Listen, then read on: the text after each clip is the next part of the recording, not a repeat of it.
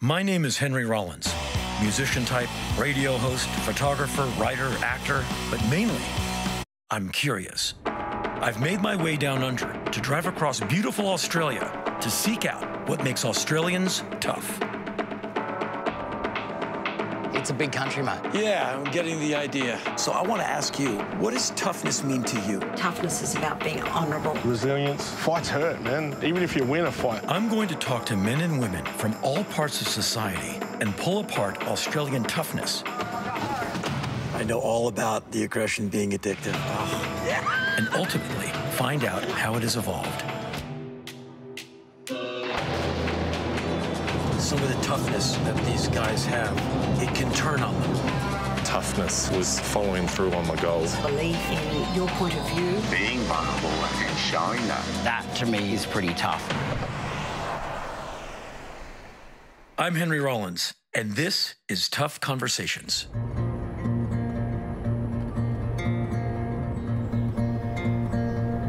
Right now, I'm heading to the Gold Coast to interview Mick Fanning. Very famously, Mick had an interaction with a shark in South Africa. If the headlines are to be believed, Mick Fanning resisted the amorous advances of the shark by punching it. The shark went away heartbroken, and they've not spoken since. First time I come to Australia, 89, I'm taken to Bondi Beach and I wander into the water.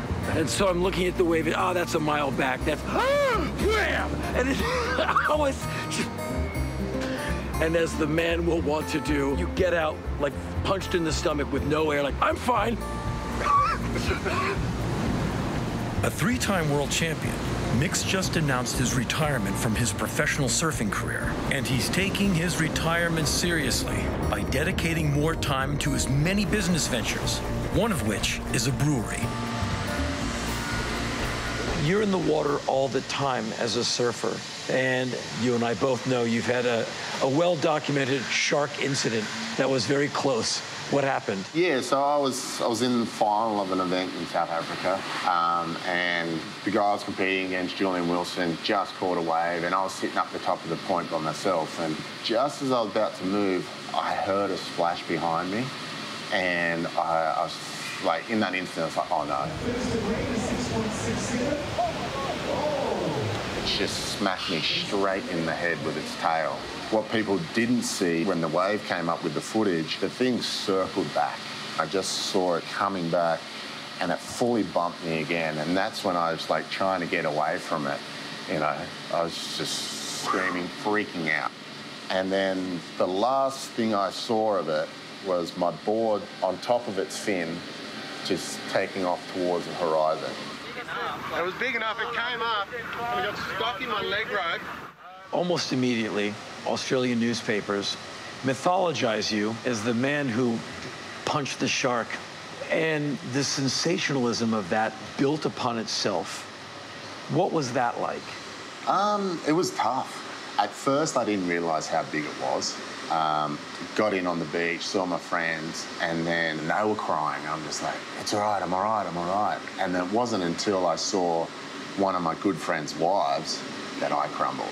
And I fell, legs went, everything's gone. And then I got on my first plane on the way home from South Africa, and the lady next to me is reading the paper, and she's like, "Oh, look at the paper. How's the guy nearly got eaten by a shark?" And I just looked over, and I was just like, "Oh shit."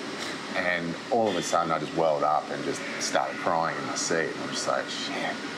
And um, camera crews were out the front of my house just waiting for me to do anything. And I don't like the cameras. I don't like all the, the spotlight. All I want to do is just try and figure this out and try and get through these emotions. But I couldn't do that because I couldn't show my vulnerability outside my house. I couldn't just walk down the street because everyone's like, yeah, well done. Like as you said, you, you punched a shark. And in all truthness, I was so insignificant on that day.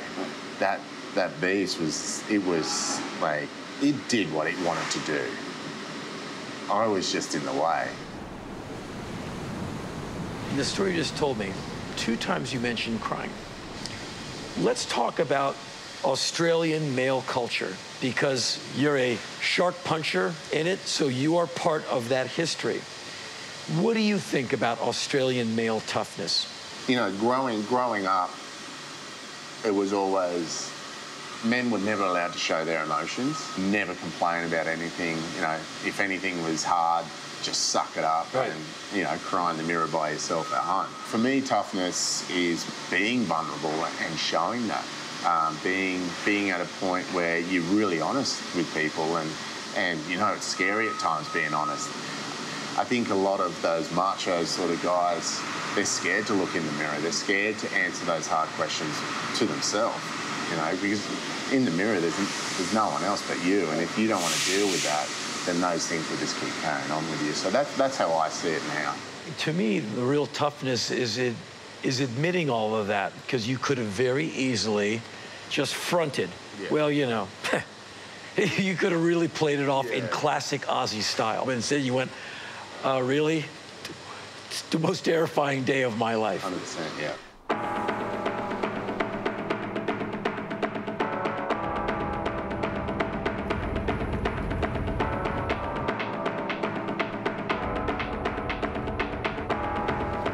Right now, I'm in Mount Isa in far northwest Queensland. It's a mining town, and it looks like a real tough patch of real estate. I'm here to meet a tattoo artist named Mike Russo and his wife Melissa. A tattoo studio is often like a bar or a record store. It can give you a really good sense of the town you're in. Mike? Hey man, how you doing? Hey, good to meet you. Welcome to Hammer and Forge Tattoo. Nice. Have a look around. Hi, my name's Melissa. Hey, Melissa, nice to meet you. Meet you. It's a cool place. Yeah. So, what's that tower there? That stack there is the lead smelter, and so that mountain back there is um, all tailings that's been brought up and processed and dumped. So that, that's not a natural hill. All of that? Yep. Wow. It sounds like a lot of people in Mount Isa, they have a tough life. Describe as best you can the life of a miner. They work, they Or go sleep. home, sleep, eat, go And- back to work. If you're the mom at home with the kids, where's where's dad? Dad is a couple of kilometers under the earth's surface. That's surreal. What does a miner get tattooed on him? The kids' names and dates of birth and Could it be maybe uh, the guy's underground and he can, that's a reminder, he can kind of. like you said, I think a reminder for when they are in those tough times, like this is why I'm doing it. This is why I'm here. This is why I'm hot, wet, tired, underground, hungry. There's a lot of people who see a tattooed person and go, well, here comes trouble. Do you think some people get tattoos to cash in on that perception? Like, uh, to be tough, I need tattoos, or if I get tattoos, people will think I'm tough. A display. Yeah. Well, it's the same as someone who works out at the gym. They want to show this is my exterior. You don't know me, you know, personally, but this is how I look and I'm tough. This is what I want you to know Yeah, about yeah, me. yeah. Look at me, I'm tough. That's it. And Melissa, if you can, tell me why you get tattoos. In the beginning, it was the tattoos that meant something. I would spend hours thinking about what I wanted to get and where I wanted to get it. And they just made me feel better. And it really does turn you into a different person. And obviously, that's a very superficial thing to say. You know, like just some ink on your body doesn't change you, but when people start looking at you differently, it does change you. It makes you harder. You have to be harder to deal with the way people look at you, the think- perception of you. I think that's one of the reasons I wanted to get tattooed because I knew that would come. For me, it was a confrontational thing. Like, well, you have tattoos, so I should look at you? Yeah. In fact, hold on, I need better lighting. Yeah, look at me all day, man.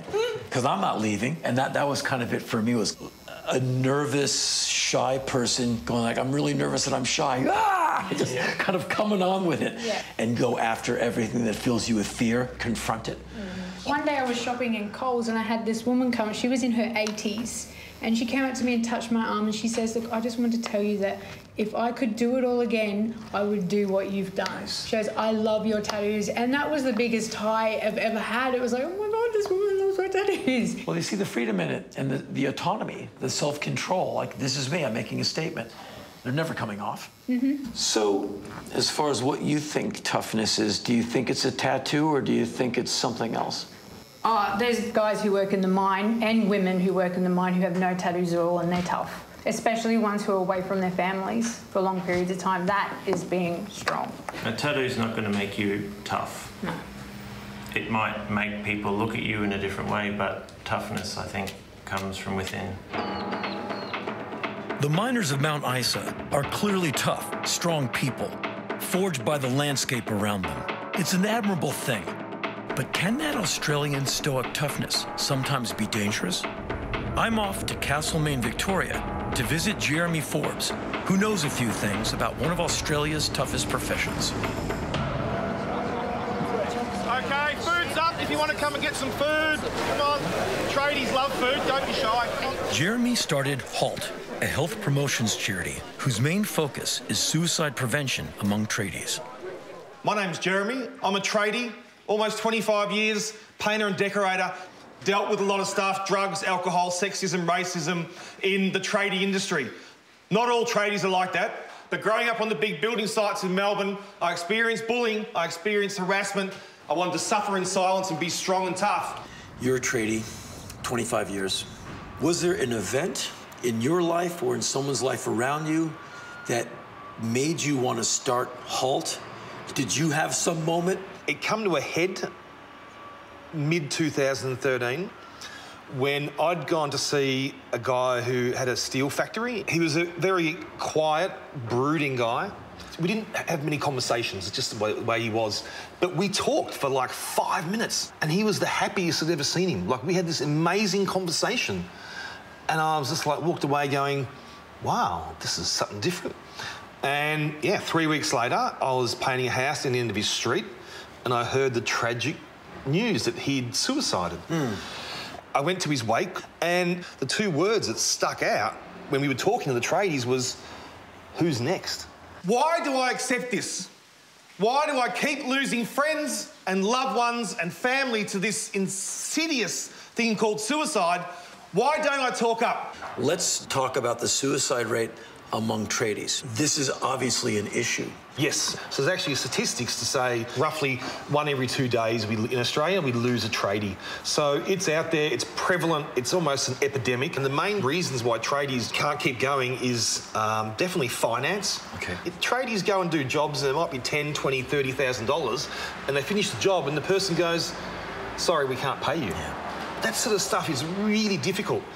Uh, and I think tradies struggle um, with relationships and the role of alcohol. And that comes back to, which I'm assuming we'll touch on, that Australian macho culture. Yeah.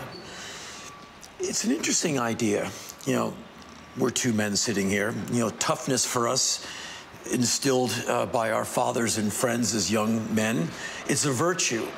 You know, suck it up, keep going. Yeah.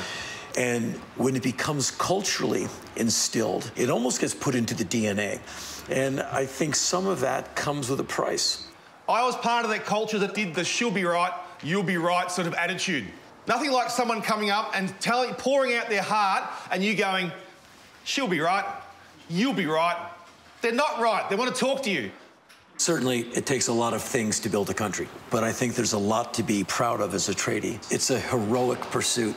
Uh, that robust, resolute, strong tradie that can work in the elements if he needs to. I, I really value that and I respect that. But I still think, and this is part of that tweaking, which HALT believes HALT can do, is to introduce that knowledge around mental health, reduce the stigma and the taboo, and introduce that empathy and compassion and that ability to open up conversations and listen and hear and respond.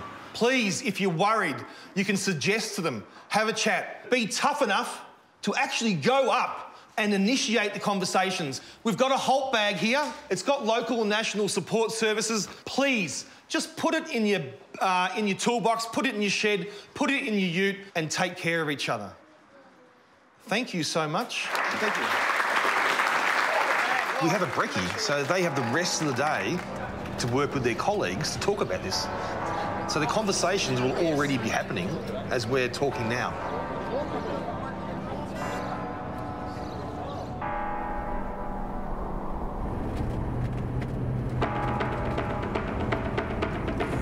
Perhaps the most interesting part of what I took away from Jeremy was that some of the toughness that these guys have, it can turn on them. It might be tougher than their actual job to admit, I have depression problems, I have anxiety problems, because they are going against decades of, I'm tough, I don't whinge. It's incredible. But I never thought that toughness could be detrimental.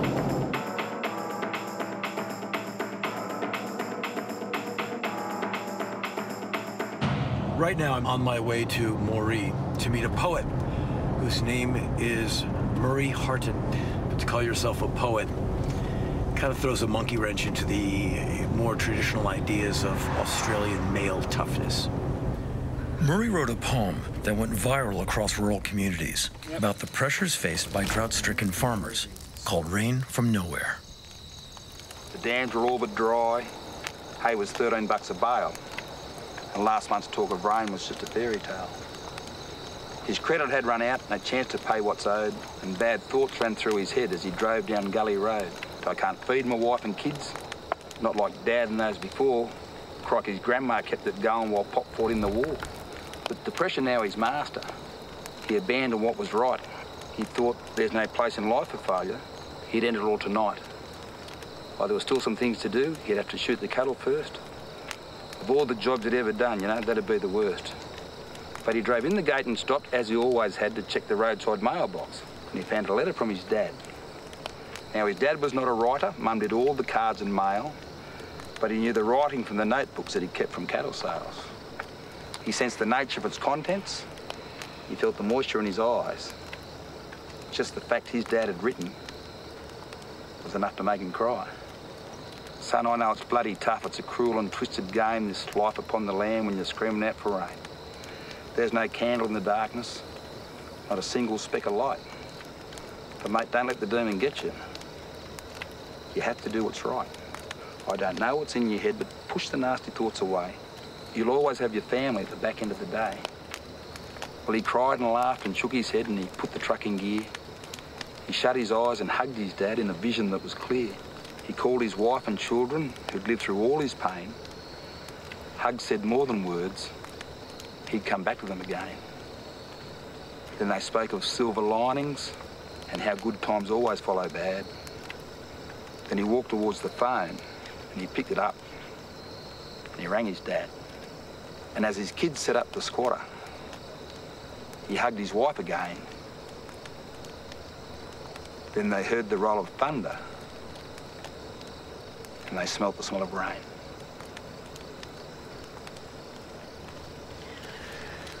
It's one thing to read it. It's another thing to, to hear you say it in your voice. And when I was a, a much younger person, I, I read a lot of poetry, and it disabused me of this idea as poetry or poets being soft. They're word warriors. Hmm. I mean, they're taking big ideas and crunching it down, and they're making it hit like, like getting hit like with a by a truck. It's it's about what you addressed in Rain from Nowhere. The toughness, the inability to express your problems and talk about your issues. Um, as far as Australia goes, where do you think that kind of toughness comes from? Well, if you go back to, to the, um, the settling of Australia from a European point of view and then the farming, they were a long way from anywhere, and the, the, next, the next door neighbour was a long way away. There was, there was you and your missus and your kids, and Right. you, you couldn't go and start, you know, and cry to your mother or your wife. Right. And say, listen, I can't do this anymore. She said, well, you're going to have to. Right. so you just had to be tough, and they had to work it out, and the, the way you did it was you went out and just worked harder. Yeah. I reckon some of the t- toughness and not talking about things comes from our huge involvement in World War One. We were only a tiny little country, but we had some of the highest casualties of any country in the world. Couldn't talk about it to people you loved because it would send them mad as well. So the idea was you came home and you just buttoned up and you shut up and it was very unmanly to break down and say, well, I killed a man or whatever, whatever. If you talk about it, you're not a man. And so that's 100 years ago now. It's, it's three or four generations ago. And a whole generation had trauma. Mm. And maybe that hard, stoic male, some of that comes from the veteran who comes home and like, Dad, what was the war like? Go play with your ball, son. Because a lot of men came back from World War II and they never said anything. I think uh, the fact that you brought up World War One and how it traumatized this country, I, I, think there might be something to be said about that. This country mm. might still be emerging from uh, the effects yeah. of that. You know, these yeah. things take a long time to process. But it has changed. In the last, say, 15 years, charities come together like Beyond Blue and Black Dog Institute and the Salvation Army, and, and the communities are getting together as well to get people talking about it. There's been a, a, major destigmatising of, of depression, that, that is a condition and it can be treated, whereas in the old days in the bush it was like, harden up, mate, you know, yeah. toughen up, you know, what's wrong with you? So, the, while I didn't set out to try to write the quintessential poem about drought and depression and, and hope, um, it sort of just happened that way. Sometimes the good things just sort of come out, you know? I can't thank you guys enough for the insight because uh, we are trying to understand uh, tough and good aspects of it and bad aspects of it. And absolutely, we learned something here tonight.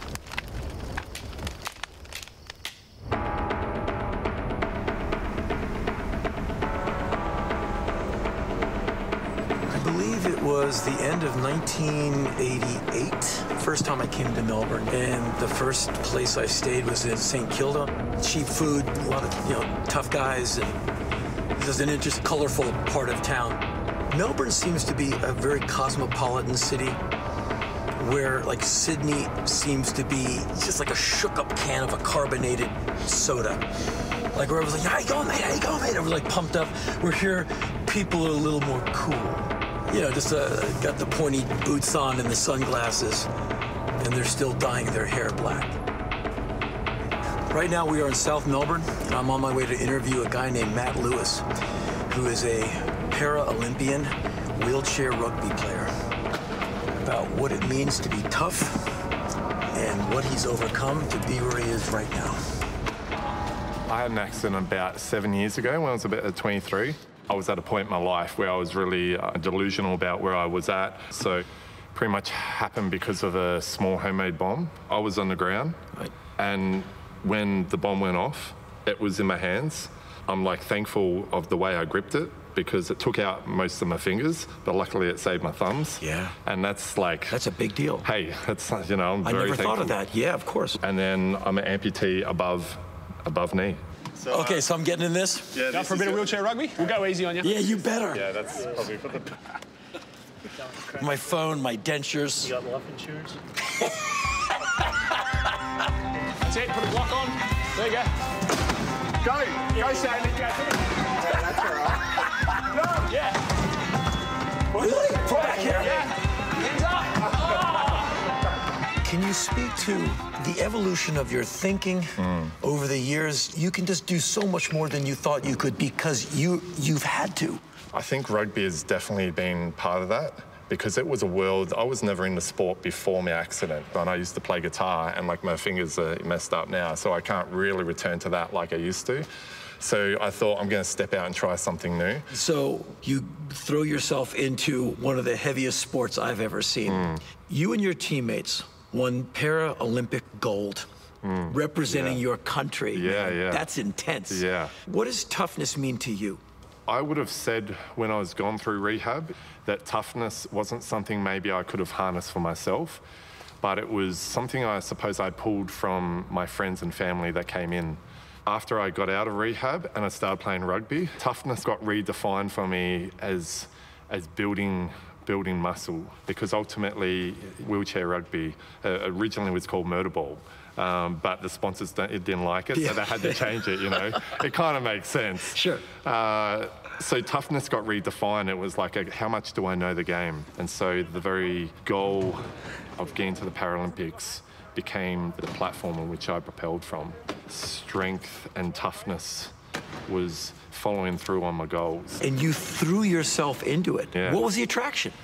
There's a part of me that I find is sometimes quiet in nor normal life, but on the core, I can just yell and scream, and it's like just permission to kill, you know. it's, it's, it's what I love. It's why we do it. Which leads me to this question. Thank yeah. you. It's your fault that I'm asking it. Is any of this aggression addictive? It definitely is addictive. I know all about the aggression being addictive. Oh. It's it is good, yeah is so, uh, you know, I used to do it in music. We would be on tour, we, you know, lucky to open for some big band. Yeah, yeah. All day long, I'm like, I'm gonna kill you guys. Yeah, hell yeah. When I was watching you today, I was like, he and I are gonna get along. And it sounds Yeah. like where you're at, nah, not a whole lot gets in your way. It really comes back to you, yeah, Yeah. how you think. It really does. You don't have to be the most able-bodied, like I don't have two legs, but Right. I'm still able to get from A to B and still get around life, you know? Yeah. Sometimes you just got to be more creative. Things sometimes you're just faced with some hard choices and some hard realities, and you either sink or swim. And obviously, you've chosen to prosper.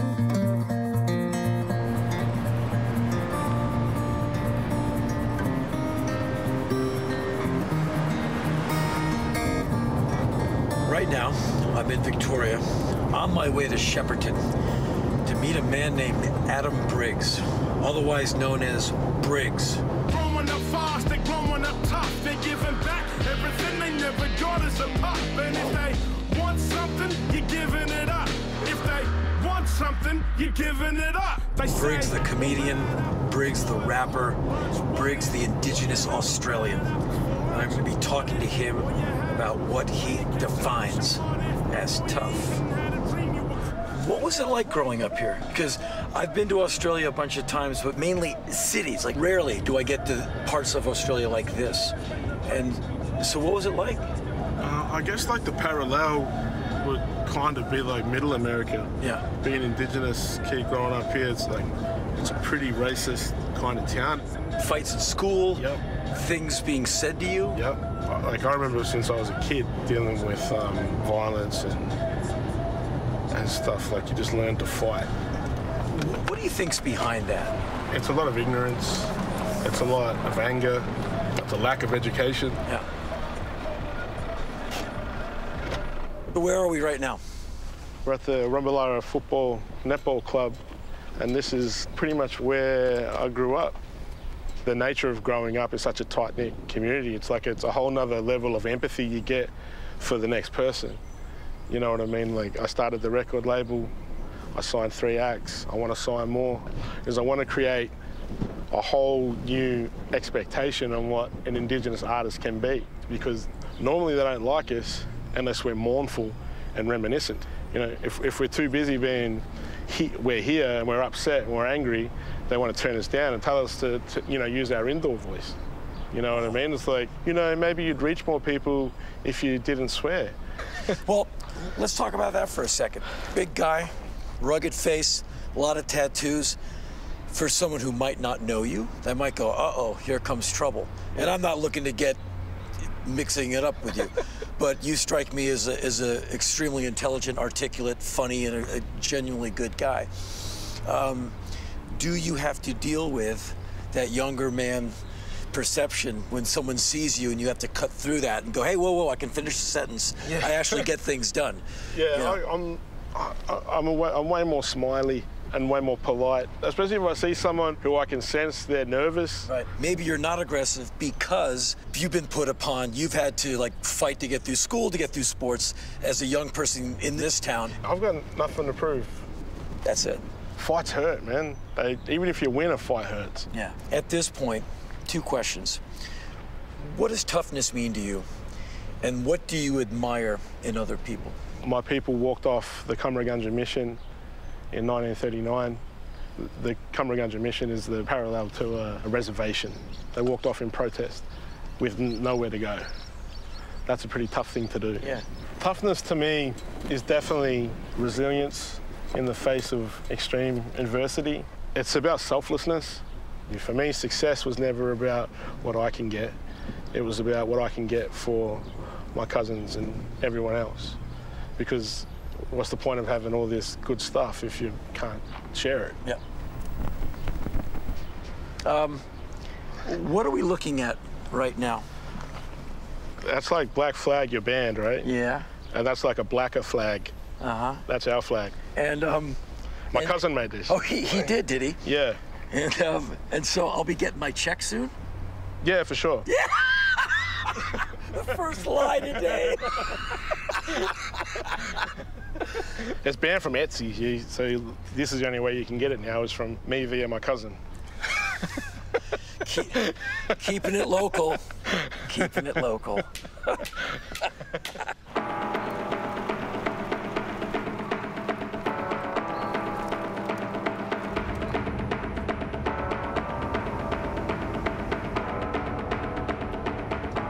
Right now, I'm in Sydney on my way to interview Clover Moore, who's the first elected female Lord Mayor of Sydney. People have come after Clover Moore very hard. There's been some real vicious attacks and an almost constant, you know, pummeling because of what she stands up for. And I want to ask her how she deals with that. Where are we right now? So we're here in the heart of Sydney. Of course, we've got our town hall over here, and this is a beautiful Victorian building. It's uh, in fact called the, the Queen Victoria Building. It's gorgeous. Um, we look after about a million people who come into the city each day. We have um, 200,000 who actually live in the city, and that's increasing. So that's a, a, a majority of the people are coming in and leaving. Yeah. Clover was taken on as someone who hated the car when she tried to implement safe cycle lanes in the city. These are ones I'm being pilloried. I, I opposed shooting in national parks, became a target of the shooters party, and of course, this is the Premier wanting to run me down on my cycle. That's great. I like that you uh, are game to take opposition imagery and put it right up there because you've triumphed over it, and it's a good fight. What drew you into politics? Well, I was living in an area that was very impoverished environmentally. I'd started a little community group. We were concerned about the parks and the through traffic, and um, I asked if they would run uh, for council, and they all said no. So I thought I'd better do it. So I did, and that really started me on a career of, of being very much involved in the city. And so, I mean, what did you think it was going to be, and how different was it when you got in? You're a private person with your own private family life and your private career, and then when you decide you want to run for public office, you become part of the public body, and I have been an independent all of my political life, and so the environment's usually been hostile because I'm not one of them. Uh, and you're a woman. particularly in the beginning, a, a, woman in a very male domain, you're up against people who shouting at you, abusing you, um, saying things about you, writing things about you, and that can be really, really hard too. When you've been attacked in the press and it veered away from the issue and became personal and vicious, how did you deal with that? I find it very hurtful. Um, makes me angry too. um, but there's nothing I can do about it. Uh, you know, I, I, think, I think, you know, the, the, Daily Telegraph in particular, Sunday Telegraph, uh, can can be vicious. Um, and I, I, guess I just have to be philosophical. Um, yeah, I, I just guess it goes with the territory. I can tell that it does hurt. Yeah. The expression on your yeah. face, uh, it, it, get, it gets to you. Yeah. It get, would get to anybody. Do you think women have to be tougher than men to be in politics? I think they do. Um, and as an independent woman, not only have you got, I don't know if tough is the right word, or just strong, okay. um, and, and you've got to be whiter than white. You know, you've, you've, you've got to be good, but you've got to be better. Yeah. The way you dress is picked up, the way you move, the things you do, it's all judged. You said that toughness plays into it, but it's more about strength. I don't think it's a matter of, of, of talking tough or looking tough. I think it's a matter of being well informed for the, the meeting you're at and having confidence and a belief in yourself and you know knowing that it's not about the way you dress it's really about the person you are and and it's and it's about what you're prepared to say and do i think that is really critical do you think men are changing their idea of what women are capable of? I, I, think men have a long way to go before they do that naturally. I mean, me, they it, should be. They, you know, yeah. they see girls performing in schools and performing often much better than the boys. You know, it just seems to be a societal thing. Um, and I think it's just through sheer performance that women will be able to prove it and do it. You said something interesting where you said, I have to be twice as good. That's not the first time I have heard that sentiment expressed by African American civil rights leaders, mm. politicians, actors, musicians. They said, I, have got to come in early. I got to memorize the whole book because my skin color. I have to just be better. Mm. Like I, and it's, It's, the same. It's the same thing. Two prominent people have an affair, and you know, it's, it's a shocking scandal. It's the woman that pays the price, and the man just goes on and on with his life. You know. What would be your definition of tough? I think being tough is about doing the right thing. You know, a whole lot of pressures can be brought to bear on you, and you can be offered and tempted, and all sorts of things can happen. But knowing what the right thing to do is and doing it, and and and having integrity at the moment of choice, um, and and you stand by your principles. I think for me, toughness is about being honourable.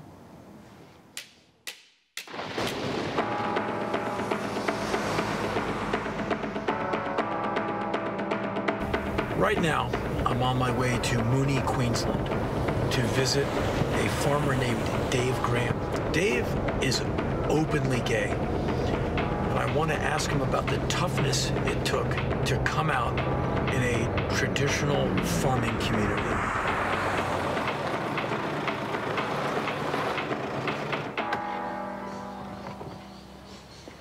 G'day, g'day. Dave. You made it. Yeah, we sure did. How was your drive? Good? It was good. It was long. Yeah, it's a big country, mate. Yeah, I'm getting the idea. and lots of water at the moment. Gonna go somewhere dry? Yeah, please. Growing up, what was this life like? Paradise. Perfect. Did you ever feel any pressure to be like your father or his brother? Was there a box that you felt you're being shoved into as an Australian male? Certainly a guy with some size like you. Yeah, we are born into boxes, and um, I didn't fit into the box. Okay, well, let's talk about that for a second. Your orientation is not the most common, right? And so, being gay in a masculine culture where there's got to be some men who think that being gay is somehow soft, where you can't be one of the guys. There's those these, these ancient ideas that are just utterly ridiculous. What was that like? Can you talk to your parents? Is there anyone at school, or are you just on your own? You're on your own. So was it a secret you kept to yourself? Absolutely. That's intense. Yeah, yeah, absolutely. That that shell that uh, you put in, it's a straitjacket. So whatever I was feeling inside, you would just shut that down. There must have been some threshold where something broke. What happened? My girlfriend and my best mate, we went off to Sydney just to have a look. Some model scout said, hey, I think you could do this. And two weeks later, I was in Europe modeling, and suddenly that strange, runty femininity that I had was my meal ticket. And uh, I got exposed to the world that I had no idea that existed. With the money I made modeling, I just spent a month traveling through Mongolia. And in that time, I met a herdsman and, and I fell in love. What a great story. a Mongolian herdsman. Yeah, yeah, That's yeah. a screenplay. With Yeah, But um, but yeah, and and we kissed, and uh, suddenly I realised that um, this is this is who I am. You arrived. Yeah. So I ended up back on the farm um, as a new person, but that new realisation of this is who I am came smashing into the myth that was still existing because nothing had changed. What's it like going up against that? I was a stranger in my own country, and my family didn't know who I was. So what was the the fallout from that? Well, I tried to kill myself. Okay. Yeah, yeah. I was totaled my ute and um. Well, well, tell me about this. I'm not trying to be morbid. Yeah. But at one point, you tried to end your life. Yeah. What got you to that point? There was two options. One was to be a, a farmer, or go to the city and be a, a Mardi Gras. Right. Because fag, you, you know? you can't be gay in the country. That's a city not. person thing. Absolutely not. And obviously, thankfully, didn't work. Totally smashed my ute. Yeah, totally but, ruined it. Yeah, Ugh. but but you. I love sur- that ute. Thankfully, you survived. Yeah. Did that bring any new thinking? It did. Yeah, I ended up going on a reality TV show and I revealed to my housemates and, of course, the rest of the country who I was. And um, it just gave me pure and absolute freedom. However, in a normal situation, if I was to go speed dating, I'd be going speed dating when there's boys on one side and boys on the other side.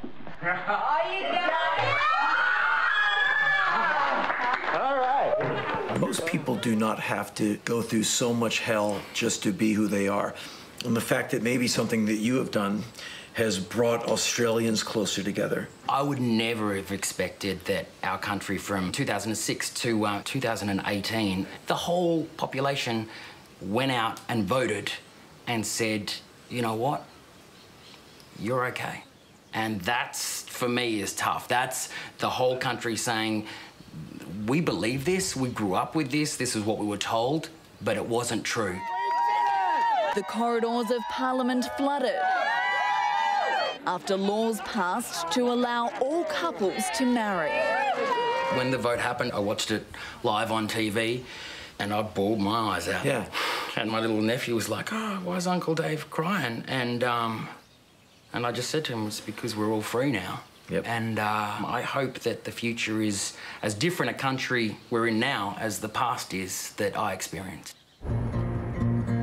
I've just come away from my conversation with Dave, and all I can say is, wow. The most profound part of the whole interview was when Dave told his story. He was also telling the, uh, the story of Australia in this century. Along the road, I've learned a lot about Australian toughness.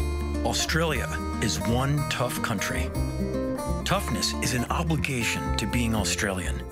From the strength and vulnerability of Mick Fanning to the power struggle of Clover Moore and the gritty yet inspirational story of Adam Briggs, I've learned that often Australian toughness can be damaging, but often it can be powerfully strong. But mostly, I learned that toughness has evolved from the cliche it was in the past. That Australian toughness isn't about physical strength or controlling your emotions. Toughness isn't a veneer or an armor, but more an ability to bend with the wind and always bounce back.